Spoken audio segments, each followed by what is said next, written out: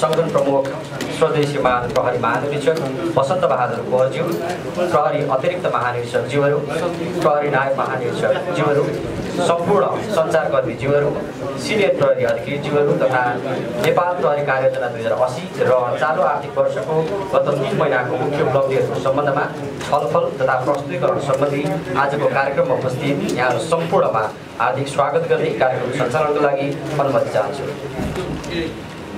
सँग भेटघाट कार्यक्रम चाहिँ आयोजना गरेको कुरा राख्न चाहन्छु। पहिलो नेपाल प्रहरी प्रधान कार्यालय आज मात्र सार्वजनिकरण गरेको नेपाल प्रहरी कार्ययोजना दुई हजार अस्सीको सम्बन्धमा यहाँलाई संक्षिप्त रूपमा हामी जानकारी गराउँछौँ।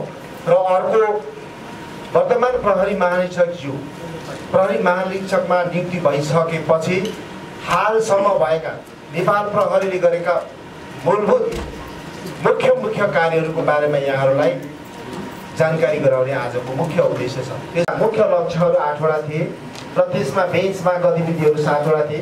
कार्यगत उद्देश्य सत्ताइसवटा थिए र जम्मा क्रियाकलाप उनासीवटा थिए। जो मध्येमा पूर्ण सम्पन्न उन्नाइसवटा भएको र कार्यान्वयनको रूपमा रूपमा रहेको तेइसवटा कार्यक्रमहरू छ जसलाई एक पोइन्ट छयासी प्रतिशत चाहिँ हामीले सम्पन्न गरिसकेको अवस्था छ। र यो जेठभन्दा पछि दुई हजार उनासत्तर सत्तरी सालमा कार्ययोजना भएका विवरणहरूलाई कार्ययोजना दुई हजार अस्सीमा हामीले निरन्तर अगाडि बढाउने हिसाबले राखेको कुराहरू पनि यहाँलाई जानकारी गराउन चाहन्छु।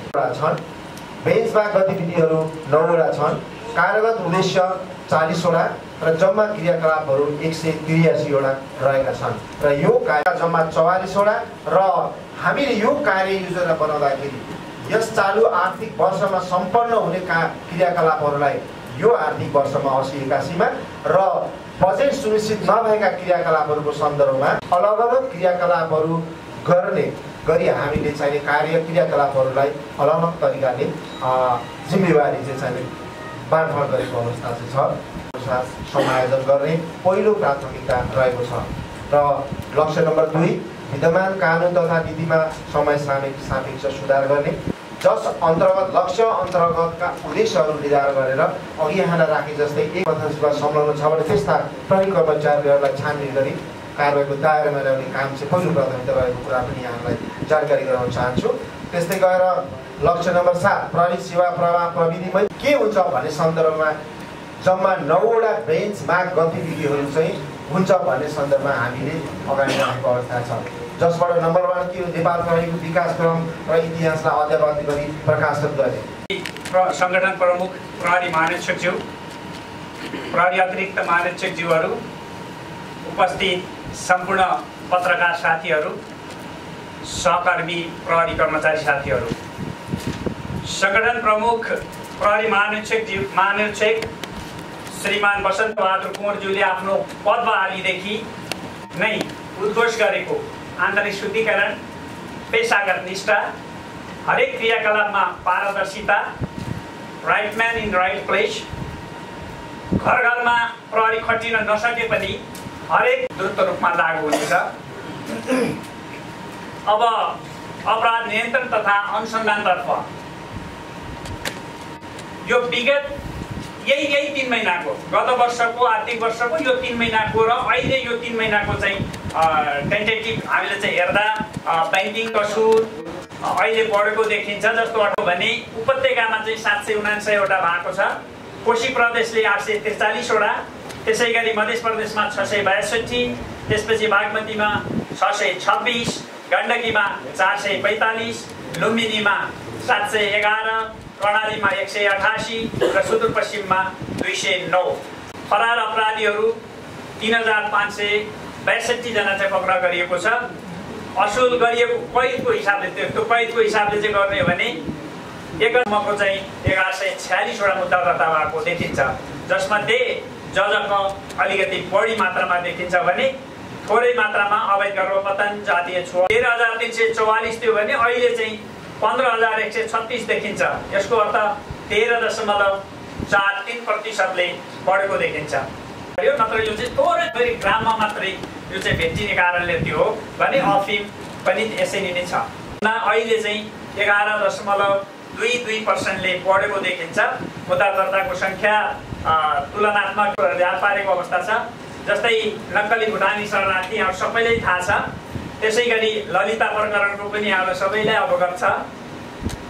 त्यसै गरी विद्युतीय सट्टाबाजी वान एक्स पेटको चाहिँ इस्यु यहाँ सबैलाई थाहा छ। त्यसमा त्रिचा त्रियासी करोड एक्काइस लाख त्रिसठी हजार आठ सय एकचालिस रुपियाँ बराबरको कारोबार भएको देखिन्छ। त्यसै गरी सहकारी ठगी यो एउटा सबैभन्दा ठुलो अहिले समस्याको रूपमा देखा परेको मध्येमा पर्छ यो पनि। यसमा पनि ठुलो सङ्ख्यामा अथवा ठुलो हिसाबको चाहिँ ट्रान्जेक्सन भएको बाह्र करोड तेइस तेइस बाह्र अरब तेइस करोड एकानब्बे लाख त्रियासी हजार पाँच सय पचासी रुपियाँको। मान्यताको हिसाब उज- उजुरीको हिसाबले सबैभन्दा बढी उजुरी आउने विधा मध्येमा पर्छ साइबर क्राइम। यो गतको हिसाबले हेर्ने हो भने गत वर्ष निवेदन तेह्र सय पाँचवटा निवेदन परेको थियो। निवेदन परेको मध्ये अठतिसवटा मुद्दा दर्ता भए। यसमा कतिपय आएर पछि मिलापत्र हुने हुन्छ कतिपय सफलका कुराहरूको चाहिँ यो सामान्य सामान्य जानकारी हो। अब शान्ति सुरक्षातर्फ अवैध हतियार तथा हात हतियार र मानिस पक्राउको सङ्ख्या यो बिचको यो तिन महिनाको पिरियडलाई हेर्ने हो भने लामो हतियार एक सय त्रिपन्नवटा बरामद भएको छ छोटो हतियार सोह्रवटा त्यसकै गोली एक सय सत्तालिसवटा र म्यागजिन छवटा जम्मा हतियार वान सिक्स नाइन एक सय उनासत्तरीवटा। यो विभिन्न समय मृत्यु पाँच सय एकासी गम्भीर घाइते एक हजार छ सय सत्ताइस त्यसपछि साधारण घाइते छ हजार सात सय एक्काइस। कारवाही सवारी साधनको सङ्ख्या हो यो कारवाही सात लाख छत्तिस हजार चार सय सत्तरी। यो गतसम्मको चाहिँ तुलनात्मक हिसाबले हेर्ने हो भने सवारी दुर्घटना माथिल्लो लाइनको जुन देखिन्छ सवारी दुर्घटना गत उसमा चाहिँ छ हजार तिन सय बयासी थियो भने अहिले छ हजार चार सय बिस भएको छ। कुल राजस्व सङ्कलन एक अरब उनासठी करोड बयासठी लाख बयासी हजार एक सय सतहत्तर भएको देखिन्छ। अवैध सुन बरामदमा छ। त्यसै गरी अवैध चाँदी बरामदमा छ। सुरक्षा कायम पछिको उल्लेख्य महत्त्वपूर्ण भूमिकामा विपद व्यवस्थापन गर्छ। यो विपद व्यवस्थापन गर्ने सिलसिलामा नेपाल प्रहरीको अहिले कर्मचारीहरू उद्धारमा खटिएको कर्मचारीहरू चौध हजार छ सय पाँच रहेको छ भने सम व्यवस्थापन चौसठीवटा र घाइतेको उद्धार तिन सय पचहत्तर छ। खोजिएको हराएका व्यक्तिहरूको खोजतलास गर्छ घाइतेको उपचार उद्धार गर्नेमा सहयोग गर्छ मृतकहरूको पहिचान लास व्यवस्थापन सब व्यवस्थापनमा चाहिँ गर्छ अनि त्यसपछि विस्थापितहरूको चाहिँ पुनस्थापना र स्थानान्तरण गर्नेमा काममा चाहिँ प्रहरी सघाउँछ राहत वितरणको प्रक्रियामा चाहिँ प्रहरी सक्रिय रहन्छ। अब यो पिरियडमा केही रचनात्मक र सृजनशील कार्यहरू पनि भएको छन्। यो विभिन्न प्रदेशगतले आफआफूल हिसाबले एउटा अभियानका रूपमा सञ्चालन गरिएका क्रियाकलापहरू छन्। काठमाडौँ उपत्यका प्रहरी कार्यालयले सुरक्षित उपत्यका हाम्रो प्रतिबद्धता भन्ने अभियान सञ्चालन गरेको छ जसमध्ये स्थानीय तहहरूसँग सहकार्य गरेर थुप्रै सिसिटिभीहरू विस्तार गरेको छ गरेको छ। मध्य प्रदेशमा अल्पसङ्ख्यकहरूसँग प्रहरी कार्यक्रम महोत्तरी लगायत विभिन्न जिल्लाहरूमा चाहिँ यो गरेको छ। यसमा विशेष गरी अपराधीहरू र अपराधको बारेमा र आफ्नो पहुँच प्रहरीसँग अथवा सम्बन्धित निकायसँग चाहिँ कसरी आफ्नो पहुँच बढाउन सकिन्छ आफ्ना क्रियाकलापहरू अथवा आफ्ना स्मार्ट प्रहरी कन्ट्रोल रुम। यसमा सबै पनि जति पनि सेवाग्राही आउँछ उहाँहरूको सबै किसिमको डाटाहरू चाहिँ इन्ट्री गरिन्छ कम्प्युटरमा। र त्यसपछि कुन शाखामा के कामका लागि जाने हो कुन व्यक्तिलाई भेट्न जाने हो त्यहाँसम्म पुर्याएर सहजीकरण गर्ने काम गर्छ। प्रदेशले कम्युनिटी इन्भाइरोमेन्ट पोलिसी कम्युनिटीमा इन्भाइरोमेन्टलाई पनि अब त्यो विशेष गरी गण्डकी प्रदेश पर्यटकीय क्षेत्र मध्येमा पर्छ त्यो प्रदेश अलिक बढी पर्यटकीय क्षेत्र पनि पर्छ। अलिक बढी सङ्ख्यामा हुने ठाउँ हो। त्यसमध्येमा पनि अहिलेको प्रदेश राजधानी भएको जिल्ला दाङ अलि अग्रणी स्थानमा पर्छ। त्यसै गरेर त्यहाँ चाहिँ आत्महत्या न्यूनीकरण अभियान सञ्चालन गरेको छ। यो स्टिकरमा दुईवटा हुन्छ। एउटा स्टिकरमा पुलिस नजिकको लोकल पुलिस कुन हो त्योभन्दा अगाडिको पुलिस कुन हो अथवा क्षेत्रको पुलिसको चाहिँ इन्फर्मेसन दिने टेलिफोन नम्बरहरू हुन्छ भने यसो सँगसँगै त्यो घरको सबै डाटाहरू पुलिसले कलेक्सन गर्छ। यो घर कसको घरका कतिजना छन् के छन् सबै पनि राख्ने रेकर्ड राख्ने हिसाबले चाहिँ यो छ भने सबैभन्दा बढी सुदूरपश्चिममा देखिन्छ। त्यसैले गर्दा त्यसमा पनि अझ उसमा चाहिँ हिरोइनको बढी देखिन्छ। अरू चिजभन्दा त्यसैले त्यहाँ चाहिँ अहिले लागु औषध विरुद्धको महाअभियान भनेर सञ्चालन गरेको अवस्था छ। त्यसमा जनचेतना अभिव्यक्ति गर्ने अनि समुदायमा जाने अभियान छ। त्यसमध्येमा चाहिँ अनुगमन चाहिँ गर्नुपर्छ। अनुगमन गरेर मात्रै भएन कारवाही पनि गर्नुपर्छ अथवा त्यसको व्यवस्थापन उचित हुनुपर्छ भन्ने हिसाबले पहिलोपटक एआइजी साहबहरूलाई नै प्रदेश तोकेर अनुगमनमा खटाइएको थियो।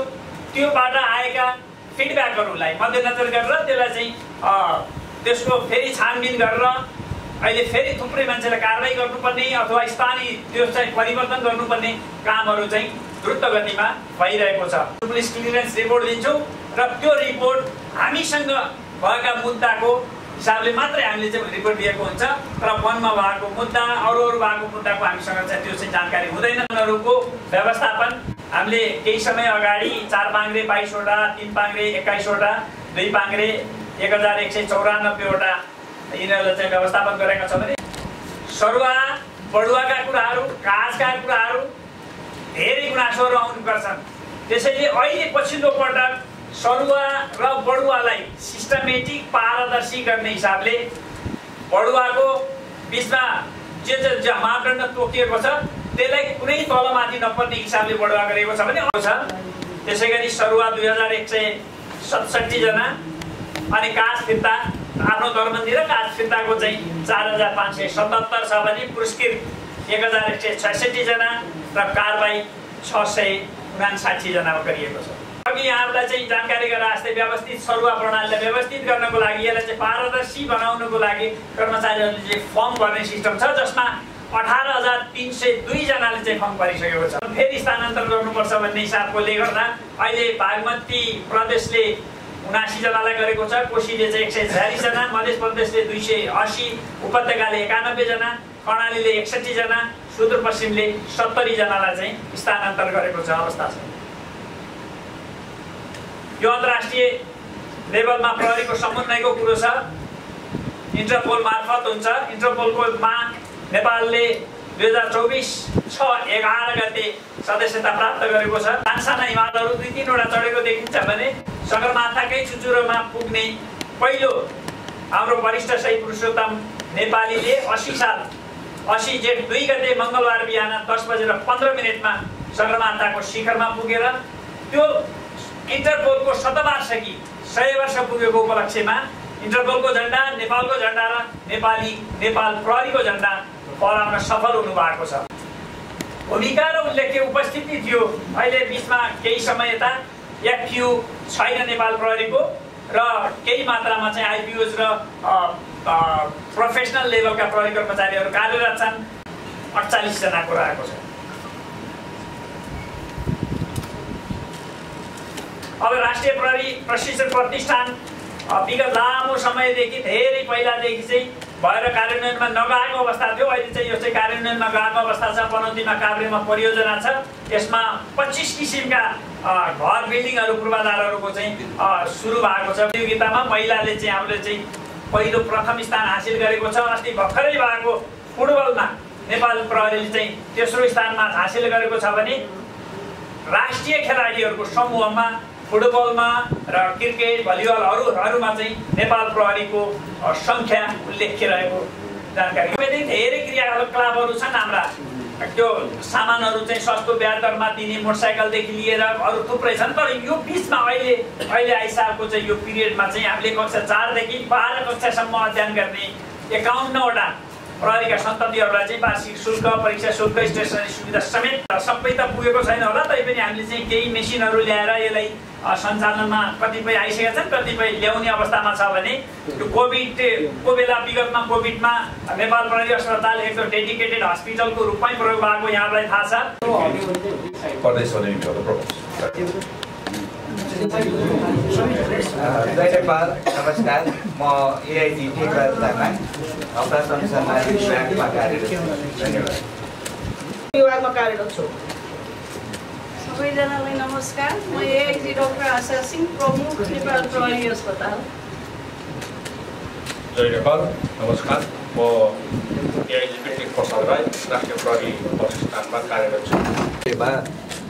नाइट क्लब र रात्रिकालीन अ, यो लाइफ कतिको सुरक्षित छ त भन्ने प्रश्न बारम्बार उठिरहँदा केही समय पहिला नेपालकै चर्चित ठमेल स्थित रहेको एलओडी नाइट क्लबमा एकजना जो सोह्र वर्षकी एकजना किशोरी बलात्कारको उसमा परिन् फन्दामा परिन् यो घटनाहरू जस्तो चाहिँ यो एउटा चाहिँ घटना मात्रै भयो। भर्खर सरले भन्नुभयो कि हामी चाहिँ सुरक्षाको लागि प्रतिबद्ध छौँ भन्ने चाहिँ त्यो नारा दिइरहँदाखेरि नेपाल प्रहरीले यस्ता घटनालाई निरुत्साहित गर्नको लागि र निबिटान्न पार्नको लागि भनौँ रोक्नको लागि के गर्दैछ?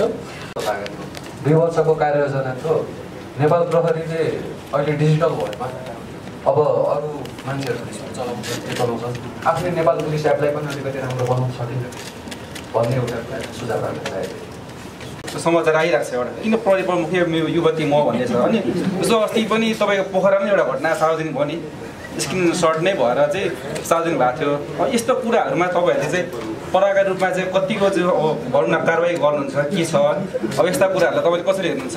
जस्तो अब पछिल्लो समय चाहिँ प्रहरीका चाहिँ अधिकृतहरू नै यसमा सम्भव जस्तो स्क्रिन सर्ट पनि सार्वजनिक भयो नि म्यासेजमा चाहिँ सुरक्षार्थ खटिने सुरक्षाकर्मीहरू जो हाम्रो विशेषता अति विशिष्ट व्यक्तिको चाहिँ सुरक्षा कार्यविधि दुई हजार सत्तरी सतहत्तर बमोजिम हुनुपर्ने ठाउँमा कार्यविधिको भन्दा करिब दोब्बर जसो चाहिँ सुरक्षाकर्मीहरू एपिएफको र नेपाल प्रहरीको लगायत अन्य सुरक्षाकर्मीहरूको चाहिँ प्रयोग भएको पाइयो यसलाई हामीले प्रयोग भन्ने कि दुरुपयोग र यसरी गृह मन्त्रालयबाट माग हुँदै आउँदा र सत्ता र शक्तिको पहुँचको आधारमा चाहिँ यसरी यो सुरक्षाकर्मीको माग हुँदै गर्दा सुरक्षा सङ्गठनले चाहिँ हामीले पठाउन मिल्दैन भनेर भन्न मिल्छ कि मिल्दैन? मुद्दाहरूलाई चाहिँ नेपाल प्रहरीले गहनताका रूपमा जिम्मेवारीपूर्वक लिन्छ। र यसलाई त्यही ढङ्गले चाहिँ अगाडि बढाउँछ र अनुसन्धानमा हामी आफ्नो सबै सबै ढङ्गले आफ्नो जे छ जे छ शक्ति अथवा हामीले चाहिँ प्राप्त अधिकारलाई प्रयोग गरेर मुद्दाहरूलाई अगाडि बढाउँछौँ। र कार्ययोजना चाहिँ पर्याप्त छ कि छैन भन्ने पनि क्वेसन सोध्नु भएको छ। कार्ययोजना हामीलाई चाहिँ पर्याप्त छ जस्तो लाग्छ अथवा कतिपय अझै त्यसलाई परिमार्जन गर्नुपर्ने पनि हुनसक्छ। तर अहिलेलाई चाहिँ यो कार्ययोजना हामीले चाहिँ गहन रूपमा अघि पनि प्रस्तुत भयो। करिब तिन महिनादेखि विशिष्ट श्रेणीका एआइजी साहबकै कमान्डमा चाहिँ लागेको भएर विगतका धेरै चिजहरूलाई चाहिँ अध्ययन गरेर पाएकोले यो कार्ययोजना लगभग पर्याप्त छ भन्ने हामीलाई लाग्छ। पनि भन्ने गरेको छु अहिलेको सन्दर्भको कुरा गरौँ भने सामान्य प्रधानमन्त्री र माननीय उपप्रधान तथा गृहमन्त्री ज्यूबाट बेला बखतमा हुने निर्देशन र माननीय उपप्रधान तथा गृहमन्त्रीबाट यहाँ नेपाल प्रहरी प्रधान भ्रमणको अवधिदेखि लिएर पटक पटकको अवस्थामा पाउने निर्देशनको कुराहरूलाई हेर्ने हो भने अहिले मैले भन्ने गरेको छु हर हिसाबमा सबै हिसाबमा सङ्गठन रूपान्तरणको उपयुक्त अवसर अहिले हो भन्ने गरेको छु मैले सबैलाई। त्यस कारणले यो कुराबाट यहाँले बुझ्नुहोस् हरेक हिसाबमा अहिलेको राजनीतिक नेतृत्वबाट प्रहरीलाई कामकाज गर्न सजिलो छ प्रहरीले आफ्नो कार्य सम्पादनको गुणस्तर उठाउन सक्छ। प्रहरीको छवि उचार उचाल्न सक्छ र समग्र रूपमा सङ्गठनको रूपान्तरण र विकास गर्ने सन्दर्भमा र सङ्गठनको श्रीवृद्धि गर्ने हकमा वातावरण राम्रो छ। त्यो वातावरण अहिलेको राजनीतिक नेतृत्वबाट प्राप्त भएको छ। यो कुराहरू भने चुनौती त धेरै छन्। किनकि अहिले हामीसँग साधन स्रोत छैन। राष्ट्रको दुःखले रित्तिएको छ। अपेक्षा गर्दा गर्दै पनि पैसा बिना केही हुँदैन। त्यस कारण पैसा नलाग्ने कुराहरूमा कसरी गर्न सकिन्छ र सामान्य नीतिगत निर्णय गरेर गर्न सक्ने कुराहरू के छन् भन्ने कुरा गर्ने हो। तर नीतिगत निर्णय गर्दा सङ्गठनका कर्मचारीहरूको मनोबल उच्च गर्ने निर्णय गर्दा पनि फेरि त्यहाँ पैसैसँग जोडिया हुन्छ। त्यो अर्थले सहमति दिन सकिने अवस्था हुन को वातावरण अब त्यो भएर पनि होला किनकि सीमाहरू धेरै छन् त्यो कारणले पुरा हुन सकेको छैन। यो अहिलेको उपयुक्त वातावरण छ भन्ने कुरा मैले यहाँ जानकारी गराउन चाहेँ। अब यो साइबर अपराधको कुरामा अहिले स्वाभाविक रूपमा हाम्रो माग अनुसार नै क्याबिनेटले यो डिसिजन गरेको छ। किनकि नागरिकहरूको हितकै लागि सेवा प्रभावमा सहजीकरण गर्नकै लागि र मार्जिनाइज ग्रुप किनकि ठुल्ठुलो मान्छे त आउँछन् काठमाडौँ आउँछन् सबै गर्छन् तर मार्जिनाइज ग्रुपको सेवा प्रभाव सहजीकरण गर्ने सन्दर्भमा अहिले जिल्ला जिल्लाबाट साइबर अपराधको मुद्दा चलाउने र यसलाई निपुण गर्ने भन्ने कुरा छ। तर यो गर्दाखेरि हामीमा स्वाभाविक रूपमा चुनौतीहरू छन्। हामीसँग जनशक्ति छैन अहिले साइबर ब्युरो यसलाई छुट्टै किसिमको चाहिँ विस्तृत ज्ञान चाहिने सिप चाहिने कुराहरू छ। तर पनि साइबर ब्युरोले एउटा चाहिँ यो मुद्दा अनुसरण गर्न चाहिने एउटा मार्गदर्शन निर्माण गर्ने क्रममा छ त्यो डिसिमेट गर्छौँ। र साइबरसँग सम्बन्धित आइटीसँग फ्रेन्डली मा व्यक्तिहरू प्रत्येक जिल्लाहरूमा आइडेन्टिफाई गरेर कमसेकम तिन चारजना मान्छेहरूलाई ओरिएन्टेसन तालिम दिलाएर यसलाई चाहिँ प्रक्रियामा लाने सन्दर्भमा हामी लागेका छौँ र सायद यो छिटै गर्छौँ र साउनदेखि नै यो प्रक्रियामा अगाडि जान्छ। त्यसै गरेर अर्को विषय यो समायोजनको विषय छ। समायोजनको विषय अहिले पनि